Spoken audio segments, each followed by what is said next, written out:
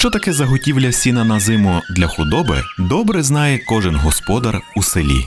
Давно вже підраховано, що для зимівлі однієї корови потрібно запасти не менше 5 тонн гарно висушеного сіна. А якщо добрий газда має не одну корову, або на хазяйстві у нього є ще вівці, кози, крулі та інша живність, тоді, звичайно, заготівля зеленої маси має бути просто масштабною за об'ємами. Розвиток сучасних технологій дає змогу господарям застосовувати до цього різноманітне обладнання для косіння, яке би мало би значно полегшувати працю селянина. Серед них різноманітні акумуляторні, мережеві та бензинові тримери, які відомі ще як мотокоси, самохідні ручні косилки, пропоновані від зарубіжних виробників.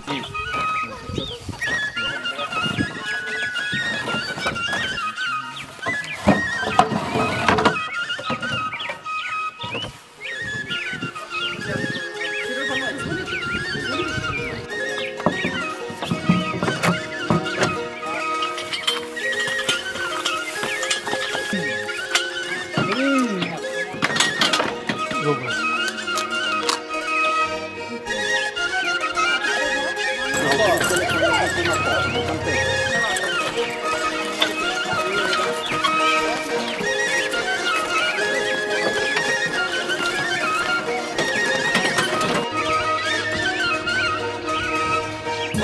Julia.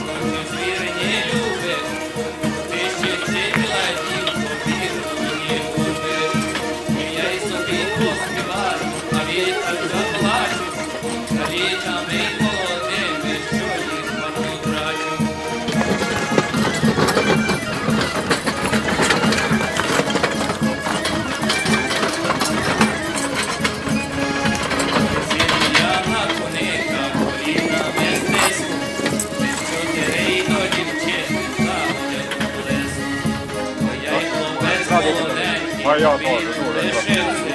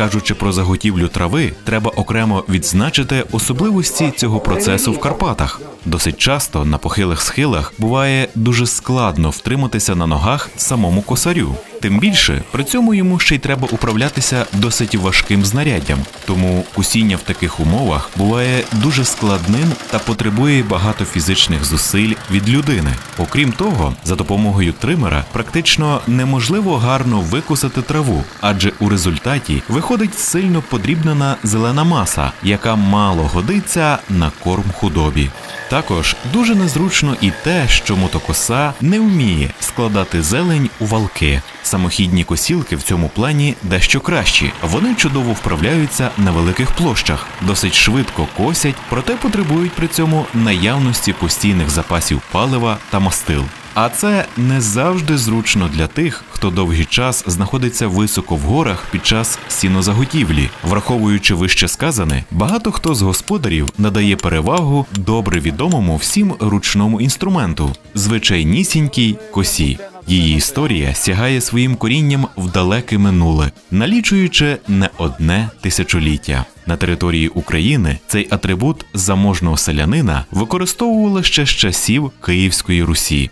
Ручна коса стала оптимальним виходом із ситуації, коли потрібно скосити гарну ділянку соковитої трави на крутих гірських схилах. Легка та зручна, вона все ж потребує певних навичок та вмінь від людини, яка з нею працює.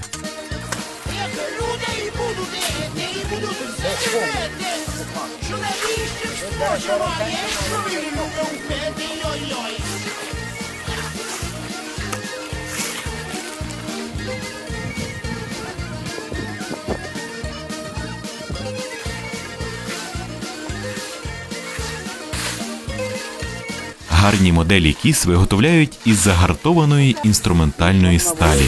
Матеріалом для руків'я служить якісна деревина у вигляді ялини, інколи сосни та берези. Для якісної роботи потрібно підтримувати у гарному стані лезо інструменту. Зазвичай його не гострять, а клепають, відбивають вузькою частиною молотка на особливій підставці бабці.